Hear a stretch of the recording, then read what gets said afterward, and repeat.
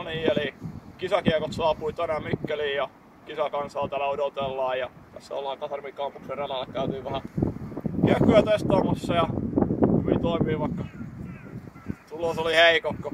Kiitos Latitude 64. Thank you Latitude 64.